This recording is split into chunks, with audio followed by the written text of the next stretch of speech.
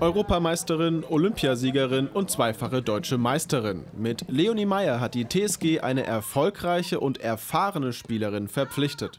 Nach Stationen in England wollte die Außenverteidigerin wieder zurück in die Bundesliga. Für mich war es aber einfach Zeit, nach vier Jahren auch wieder in der Nähe zur Heimat zu sein. Und ja, mit Hoffenheim hatte ich einfach auch super positive Gespräche.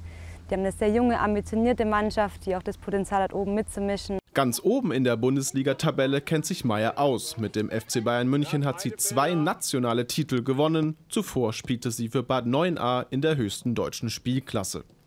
Der Trainer der TSG Hoffenheim schätzt vor allem das fußballerische Gesamtpaket des Neuzugangs. Sie kann sowohl mit dem rechten als auch mit dem linken Fuß agieren, ist technisch da sehr, sehr gut ausgebildet, äh, kann Lösungen unter Druck finden.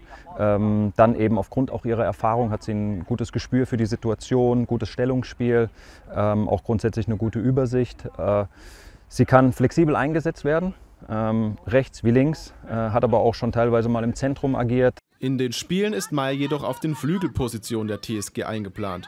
Neben dem Spielfeld soll sie dann aber auch im Zentrum stehen und eine Führungsrolle im jungen Hoffenheimer Team einnehmen. Natürlich erwarten wir auch von ihr, dass sie diese Qualität und diese Erfahrung, die sie gesammelt hat, auch auf dem Platz für sich ähm, erstmal ähm, auf den Platz bringt.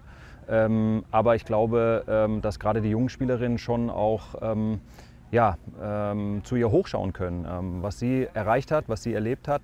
Ich glaube, da können andere noch von träumen ähm, und ähm, dass sie da schon so ein bisschen eine Vorbildrolle einnehmen kann. Für Meier ist das eine Aufgabe, die sie aus ihren vorherigen Vereinen und auch der Nationalmannschaft kennt. Die Länderspielkarriere hat sie aber Anfang des Jahres beendet, unter anderem, um sich mehr auf ihren Verein konzentrieren zu können.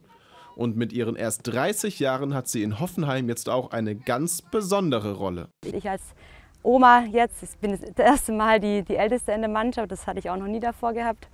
Ähm, ja, freue mich einfach mit den Jungen da, ähm, ja, zusammen zu arbeiten und meine Erfahrung mit einzubringen und dann am Ende so erfolgreich wie möglich mit dem, mit dem Team zu sein. Ein konkretes Ziel haben die Hoffenheimerinnen für die neue Saison noch nicht ausgerufen. Klar ist aber, Leonie Meyer soll mit ihrer Erfahrung zu einem erfolgreichen Abschneiden in der neuen Spielzeit beitragen.